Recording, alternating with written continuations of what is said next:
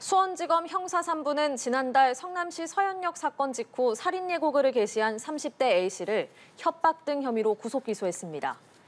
A씨는 분당 흉기 난동 사건 당일인 지난달 3일 오후 DC인사이드 게시판에 서현역 금요일 한남 20명 찌르러 간다는 글과 함께 흉기를 든 사진을 올린 혐의를 받고 있습니다.